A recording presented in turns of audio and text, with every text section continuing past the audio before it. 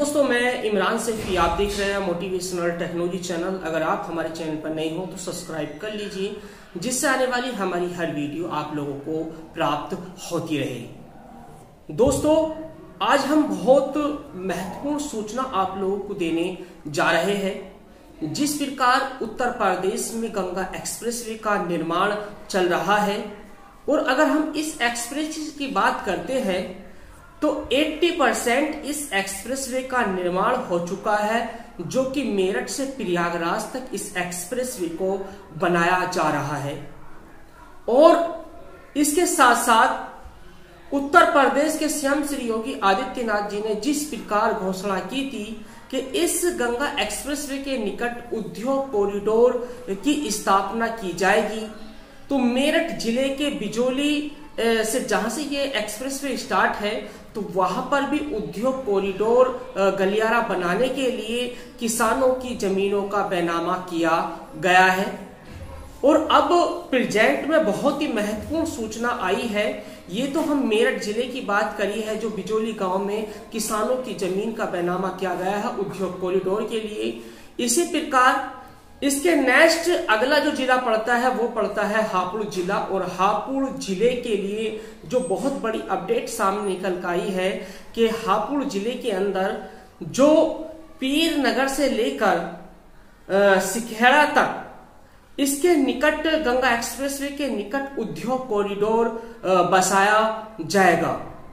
इसके लिए बहुत ही जल्द चार जून के बाद क्योंकि प्रधानमंत्री के लिए जो चुनाव चल रहा था वो अब समाप्त हो चुका है और चार जून को वोटिंग खुलने वाली है क्योंकि उत्तर प्रदेश के सीएम श्री योगी आदित्यनाथ जी जब से चुनाव में लगे हैं, जब से कोई भी कैबिनेट की मीटिंग नहीं हुई है, इसलिए जितने भी प्रस्ताव है इस उत्तर प्रदेश के अंदर जितने भी कार्य चल रहे हैं, उनके ऊपर जो कैबिनेट मीटिंग होती है, उसको लेकर कोई भी कैबिनेट मीटिंग नहीं हुई है। तो चार जून के बाद कैबिनेट मीटिंग बैठेगी।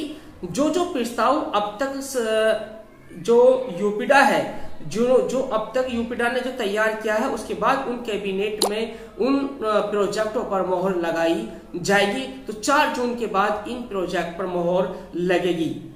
लेकिन जो यूपडा के जो अधिकारी है, क्योंकि एनएचआई की भी इसके अंतर्गत ज़मीन आती है, क्योंकि जो गंगा एक्सप्रेस वे बन रहा है, इसके दोनों तरफ़ बड़ी बड़ी दीवारें बनाई जा रही है, जिसके कारण जो उद्योगपति हैं, उनको इस गंगा एक्सप्रेसवे के निकट अगर ज़मीन वो खरीदते हैं तो उनको सर्विस रोड भी चाहिए, और प्लस उनको आने जाने के लिए भी विशेष जो है, स्पेस भी चाहिए तो इसके लिए भी एक प्रस्ताव तैयार किया गया है कि पीर नगर से लेके सिखेड़ा तक, और पीर नगर से अगर हम बात करते पीर नगर से पहले अटोला पड़ता है जहाँ पर सर्विस रोड दी जाएगी। प्लस यहाँ पर किसानों ने पहले यहाँ पर इंटरचेंज नहीं था, लेकिन किसानों ने यहाँ पर धरना प्रदर्शन किया, सरकार से बात की यूपीडा के अधिकारी से बात की तो यहाँ के किसानों ने भी यहाँ पर इंटरचेंज ले लिया है। तो उतार चढ़ाव यहाँ पर हो गया है। उसके बाद पीर नगर आता है। पीर नगर से लेके सिकारे तक जितने भी गाँव पड़ते हैं, इसके निकट यूपीडा अपने हिसाब से जो उद्योग कॉरिडोर उद्योगपति है, यहाँ पर ज़मीन तलाशी जाएगी और उसके बाद यहाँ पर उद्योग कॉरिडोर बसाया जाएगा। लेकिन अब ये समय दूर नहीं है, क्योंकि 4 जून के बाद जैसे ही वोटिंग बनेगी, सरकार किसी की भी बने, लेकिन जो प्रोजेक्ट इस वक्त चल रहे हैं, उन पर कोई भी प्रभाव नहीं पड़ेगा, और जितने भी प्रोजेक्ट हैं, उनको आगे बढ़ाया जाएगा। क्योंकि यूपीडा बहुत ही जल्द कैबिनेट, मुख्यमंत्री के सामने कैबिनेट मीटिंग होगी और उसके बाद इन प्रस्तावों पर मोहर लगाई जाएगी। और किसानों की बहुत जल्द जो ज़मीन है, जो यूपीडा उद्योग कॉरिडोर के लिए लेगा उसको भी बहुत जल्दी ही प्रस्तावित हुआ है। उसको बहुत जल्दी फाइनल कर कर जमीनों के बैनामे शुरू कर दिए जाएगी। तो दोस्तों, ये बहुत बड़ी अपडेट निकल कर आ रही है। इसी प्रकार हमारे साथ जुड़े रहिए और अगर कोई भी नई अपडेट आपको चाहिए तो हमें कमेंट बॉक्स में ज़रूर बताएँ। वीडियो देखने के लिए आप सभी का बहुत बहुत धन्यवाद।